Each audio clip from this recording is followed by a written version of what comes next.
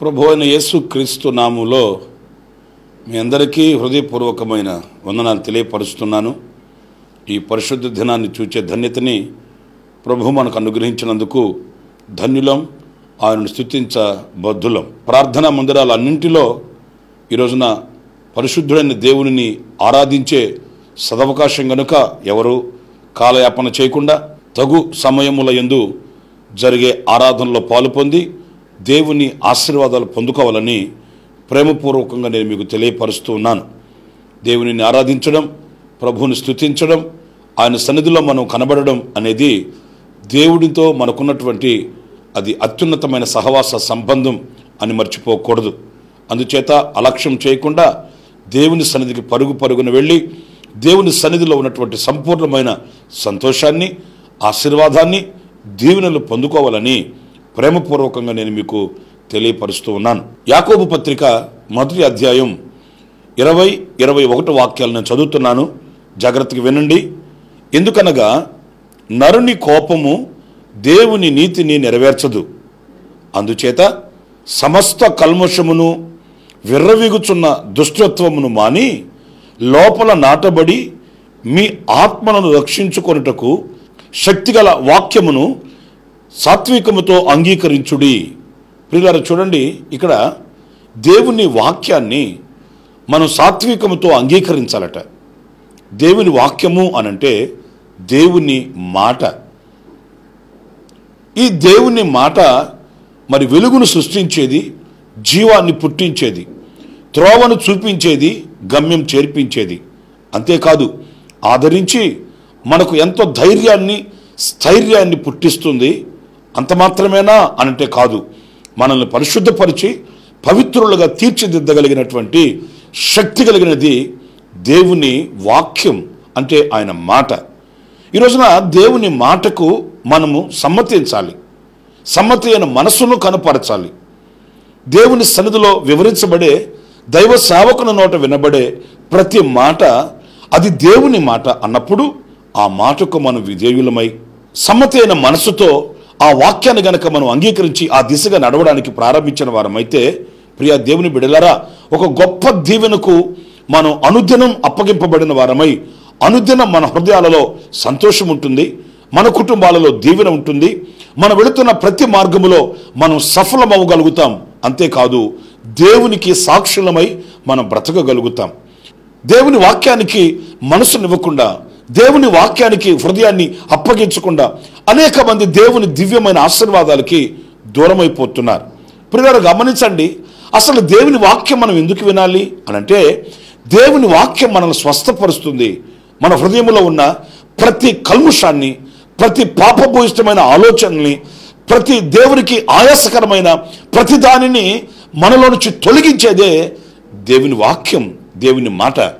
చూడండి హెబ్రి పత్రికలో దైవజనుడైన పౌలు చక్కటి మాట వ్రాసాడండి హెబ్రి పత్రిక నాలుగవ అధ్యాయం పన్నెండవ వాక్యం.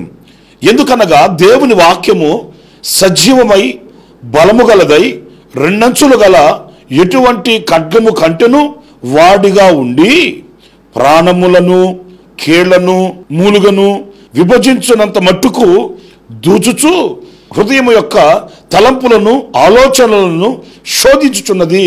ప్రియుల చూడండి ఇక్కడ దేవుని వాక్యమట మన అంతరంగంలోనికి వెళ్ళి ఈ అంతరంగములో మరి మన హృదయము తలంపులే కానివ్వండి మన యొక్క శరీర అవయవములే కానివ్వండి సమస్తము పరిశోధించి పరిశీలించి ఈ శరీరములో దాగి ఉన్న ప్రతి విధమైన కల్ముషములో నుండి మనల్ని విడిపిస్తుంది ఆ కల్ముషాన్ని మన హృదయములో నుండి మన శరీరములో నుండి తీసివేస్తుంది. దేవుని వాక్యము అనే ఖడ్గము అనేది ఈ వాక్యంలో దైవజనుడు పౌలు చెప్తున్నాడు. ప్రియమైన దేవుని బిడ్డలారు గమనించండి. ఈ రోజున ఆ వాక్యం అనే ఖడ్గం మన శరీరంలోనికి వెళ్ళి ఆ వాక్యం మన హృదయంలోనికి వెళ్ళి దాచబడి ఉన్న ఆ కల్ముషాన్ని తీసివేయనివ్వకుండా మనమే ఆటంకపరుస్తున్నాము అనే విషయాన్ని మనం గమనించాలి. అంటే ఎంతకాలం మన హృదయంలో ఒక రోగాన్ని దాచుకొని ఉంటాం? ఎంతకాలం మన శరీరంలో ఒక పాపభూయిష్టమైన కల్ముషాన్ని మనం అట్టిపెట్టుకొని బ్రతుకుతాం? దేవుని వాక్యాన్ని విస్మరించడం అంటే ఏంటి? దేవుని వాక్యాన్ని పెడచెవిరి పెట్టడం అంటే ఏంటి? దేవుని వాక్యాన్ని అంగీకరించకపోవడం అంటే ఏంటి?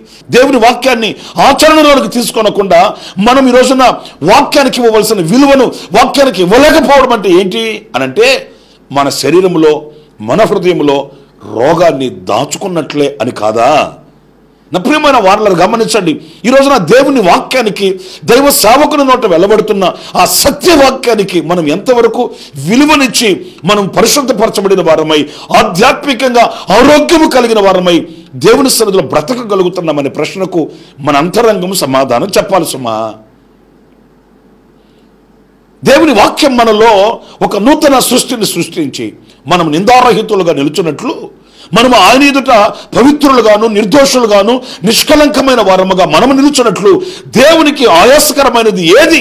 మన హృదయంలో మన శరీరంలో దేవునికి అయిష్టమైన ప్రతిదానిని శుద్ధి చేస్తుంది అనేది మనం గమనించాలి. చరిత్రలో మనం గమనిస్తే ఒకసారి యోధా రాజైన యహోషపాతు ఇస్రాయేలు రాజైన ఆహాబు దగ్గరికి వెళ్ళాడండి. ఈ చరిత్ర మనకంత బాగా తెలిసిన సంగతి.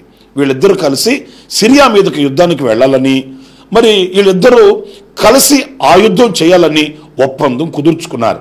వాస్తవానికి యూదా రాజు కాస్త భక్తి కలిగి దేవుని ఆలోచన అనుసారముగా యహోవాను ఆశ్రయించిన వాడు అని వాక్యం చెప్తుందండి. కానీ ఇస్రాయేల్ రాజైన ఆహాబు అలాంటి వాడు కాదు. మనుషులను ఆశ్రయించి దేవునికి అయిష్టంగాను దేవుని పవిత్రమైన మార్గానికి భిన్నంగా ప్రవర్తించుతున్న రాజు అని వాక్యంలో మనం చదువుతున్నామండి. కానీ వీళ్ళిద్దరికీ జోడు కుదిరింది. వీళ్ళిద్దరికీ ఆలోచనలు కలిశాయి. యోధారాజైన యహోషపాతు మరి ఆహాబును అడిగాడు. మరి మనం యుద్ధానికి వెళుతున్నాం. మరి ఆ యుద్ధంలో మనకు జయం కలుగుతుందో లేదో దేవుని విచారణ చేయాలి కదా. దేవుని ఆలోచన తెలుసుకోవాలి కదా. ఆయన మాట మనం వినాలి కదా అని మరి ఆహాబుని అడిగినప్పుడు ఆహాబ్ ఏం చేశాడో తెలుసండి? అదెంత పని? దేవుని మాట మనం వినాలి దేవుని ఆలోచన మనం తెలుసుకోవాలి అదెంత పని? అని అక్కడ కొంతమంది ప్రవక్తలు ఉంటే ఆ ప్రవక్తల్ని పిలిపించాడు. ప్రియా దేవుని బిడలారా కానీ ఆ ప్రవక్తలు దేవుని మాట కాకుండా వాళ్ళ యొక్క ఆలోచనానుసారంగా రాజు యొక్క ముఖస్థుతిని కోరుకొని వాళ్ళు నోటుకొచ్చిన మాటలు అందరూ ఒకే మాట కూడబలుకొని పలకడం ప్రారంభించారు. కానీ ఈ యోధా రాజైన యహోషపాతు ఎందుకో మరి? మరి వీరైనా ఇంకెవరైనా ఉన్నారా? అని అడిగినప్పుడు ఈ ఆహాబు ఏం చెప్పాడో తెలుసండి? మికాయా అనే ప్రవక్త ఉన్నాడు. ఈ మికాయా అనే ప్రవక్త ఎందుకు నేను పిలిపించలేదు అని అంటే అతడు వస్తే నాకు అనుకూలంగా చెప్పడు.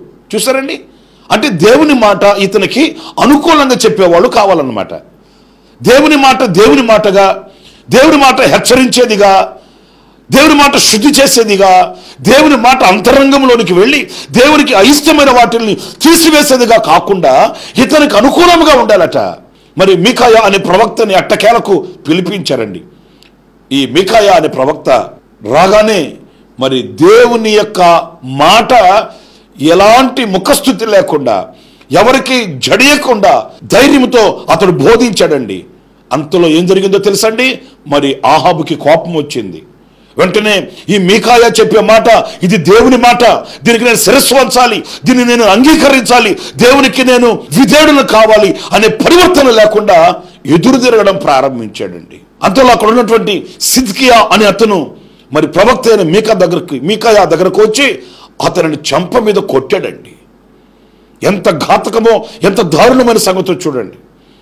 దేవుని మాట మరి అంగీకరించి పశ్చాత్తాప్తులై తమ మార్గములను సరిచేసుకునవలసిన వాళ్ళు ఎదురు తిరిగి విర్రవీగి తనకేదో శక్తి ఉందన్నట్లుగా ఆ మికాయ అనే ప్రవక్తను చంప మీద కొట్టారట. చూడండి ఆ మాటల్ని రాజుల మొదటి గ్రంథం ఇరవై రెండవ అధ్యాయం ఇరవై నాలుగవ వాక్యాన్ని నేను చదువుతున్నానండి.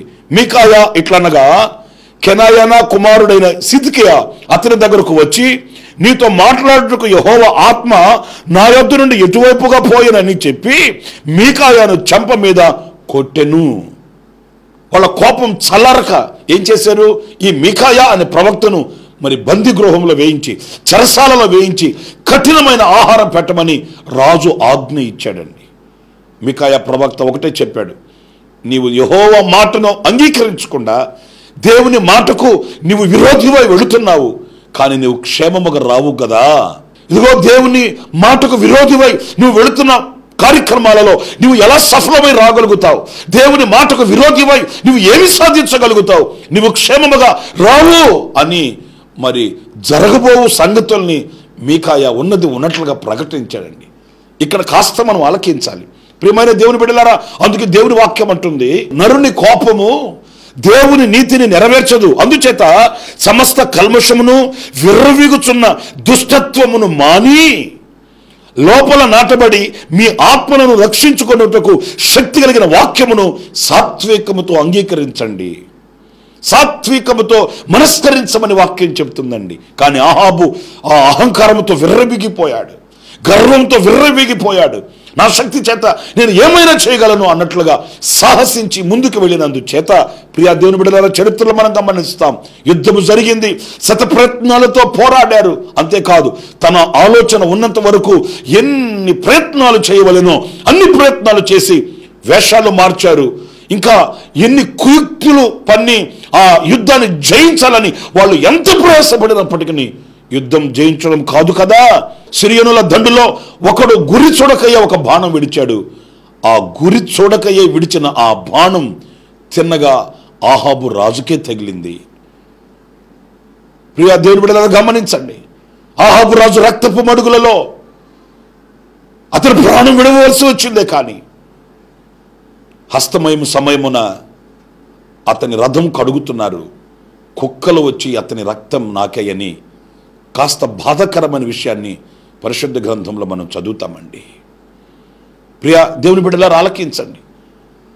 మనము దేవుని వాక్యానికి విరోధులమై సమ్మతించవలసిన మనసుతో కాకుండా వ్యతిరేకించే మనసుతో దేవుని సన్నిధి నుండి పారిపోతే దైవ సావకుని నోట వచ్చిన మాటను ధిక్కరిస్తే కలిగే నష్టమేంటో చరిత్రలు చెప్పుకొని చెబుతున్నాయి. అందుకే లేఖనములను మనం అనుసరించాలి. దేవుని వాక్యాన్ని అంగీకరించాలి. దేవుని మందిరానికి మనం వెళ్ళేది దేవుని మాట వినడానికి. దేవుని సన్నిధిలో మనం నిలిచేది దేవుని ముఖాన్ని చూడడానికి. ఆయన మందిరములు వినబడే ఆయన స్వరము చేత మనం తృప్తిపరచబడడానికి. వాక్యం అంటుంది సమ్మతించి నా మాట వినిన ఎడల. యశయ గ్రంథం మొదటి అధ్యాయం పంతొమ్మిదో వాక్యంలో మనం చదివితే మీరు సమ్మతించి నా మాట వినిన ఎడల మీరు భూమి యొక్క మంచి పదార్థములను అనుభవింతురు పిల్లల చూడండి ఆయన మాటను గనక సమ్మతించి ఆ మాటను గనక మన హృదయంలో నాటుకొని ఆ మాటలు ప్రకారం గనక మనం నడిపించబడిన వారమైతే భూమి మీద మంచి శ్రేష్టమైన వాటిని మనం అనుభవించగలుగుతామట. ఆయన మాటను ఆయన ఉపదేశాన్ని ఆయన యొక్క సత్య వాక్యాన్ని అంగీకరించిన వారమై మనం ఆయన సన్నిధిలో ఆశీర్వదించబడాలి. శ్రేష్టమైన వాటిల్ని అనుభవించగలగాలి. శ్రేష్టమైన వాటిల్ని మనం అనేకులకు పరిచయం చేయగలిగిన సాధనాలుగా నిలవాలని వాక్యం చెప్తుంది అందుకే దైవజనుడు అంటాడు ఆయన వాక్యము నాకు దొరకక నేను దానిని కడుపార భుజించాను అంటాడు. అవునండి ఈ లోక సంబంధమైన ఆహారం చేత మన శరీరం ఎలా బలాన్ని పొందుకుంటుందో ఆత్మ సంబంధమైన దేవుని వాక్యము చేత మన ఆత్మ సంబంధమైన బ్రతుకు కూడా అలాగే బలాన్ని పొందుకోవాలి. అప్పుడే మనము శక్తి కలిగిన వ్యక్తులమై ఆధ్యాత్మికమైనటువంటి ఆశీర్వాదాల చేత ప్రభు రాకడ వరకు మనం నిలిచి ఉండగలుగుతామనే విషయాన్ని మనం మర్చిపోకూడదు. తల వంచండి ప్రార్థన చేసుకుందాం. మహాపరిశుద్ధుడా జీవాధిపతి అయిన యేసయ్య మీకు వందనాలు. మీ వాక్యము సజీవమైనది. గనుక మీ వాక్యానికి మేము శిరస్సు వంచి మీ వాక్యములో ఉన్న వెలుగును చూచేటట్లుగా నీ వాక్యములో ఉన్నటువంటి ఆశీర్వాదాన్ని మేము అనుభవించేటట్లుగా మీరు కృపను అనుగ్రహించి మమ్మల్ని ఆయుత్తపరచమని వేడుకొనుచున్నాను మీ వాక్యానికి ఎడముఖం పెడముఖం పెట్టి అనేక మంది అనేక నష్టాల ఊబిలో కొరకపోయారు. నా తండ్రి ఆహాబు నీ వాక్యానికి నీ మాటకు దైవ సేవకుల నోట వెలువడిన ఆ సత్యవాక్యానికి విలువిచ్చిన వాడు కాక ప్రాణాన్ని కోల్పోయాడు. అలాంటి వారం మేము కాకుండా నీ వాక్యానికి విధేయులమై దీవించబడడానికి సహాయం చేయమని ఘనత మహిమ ప్రభావములు మీరు పొందుకున్నామని ఏసు నామములు ప్రార్థించి వేడుకొనుచున్నాను తండ్రి. అమెన్ ప్రభు మిమ్మల్ని దీవించి ఆశీర్వదించునుగాక.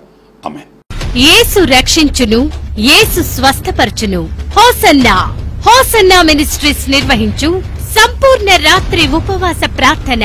ప్రతి నెల ఏడవ తేదీ రాత్రి తొమ్మిది గంటలకు. స్థలం hosanna Mandir Chintalakatta road Yanamalakuduru Vijayawada. దైవజనులు పాస్టర్ రమేష్ గారు పాస్టర్ అబ్రహాం గారు పాస్టర్ జాన్ వెస్లీ గారు వాక్య పరిచర్య చేసి ప్రత్యేక ప్రార్థనలు చేయుదురు. శక్తివంతమైన స్తుతి ఆరాధన మేలుకొలుపు కలుగు సందేశముల కొరకు తరలి రండి. వివరాలకు సంప్రదించండి. Hosanna Mandir Chintalakatta road Yanamalakuduru విజయ